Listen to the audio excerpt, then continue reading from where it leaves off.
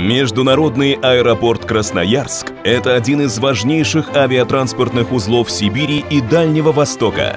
Стратегический транзитный узел в воздушном сообщении между Европой и Азией. Аэропорт Красноярск сейчас является одним из крупнейших аэропортов России с пассажиропотоком более 2,5 миллионов пассажиров в год.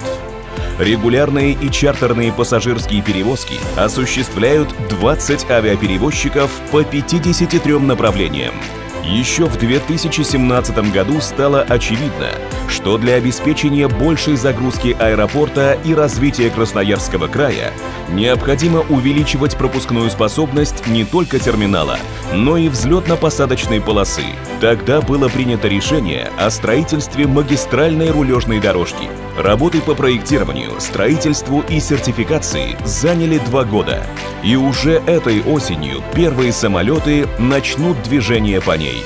Рулежная дорожка состоит из двух слоев особого цементобетонного покрытия общей толщиной 66 сантиметров, устроенной на специальной полуметровой щебеночной подушке, что позволяет эксплуатировать ее с воздушными судами индекса 6, к которым относится Boeing 747-400, взлетной массой более 400 тонн. Общая площадь покрытия составляет более 150 тысяч квадратных метров, а протяженность более 2,5 километров. На новые МРД обустроено три примыкания, что позволит более эффективно эксплуатировать взлетно-посадочную полосу и сократит для воздушных судов время наруления и ожидания. Стоит упомянуть отдельную площадку для противообледенительной обработки воздушных судов.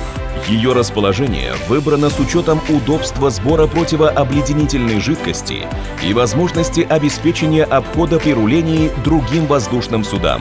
На площадке установлены две прожекторные мачты высотой 20 метров, что позволяет обеспечить необходимую освещенность при безопасной высоте. Новейшее светосигнальное оборудование бельгийского производства позволяет безопасно осуществлять руление самолетов в темное время суток и в условиях плохой видимости.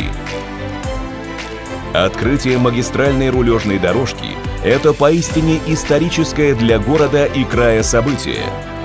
Ведь теперь количество взлетно-посадочных операций увеличится вдвое, и вместо 12 рейсов аэропорт сможет принимать до 24 рейсов в час, что означает, каждые три минуты в аэропорту Красноярск будут совершаться взлеты и посадки.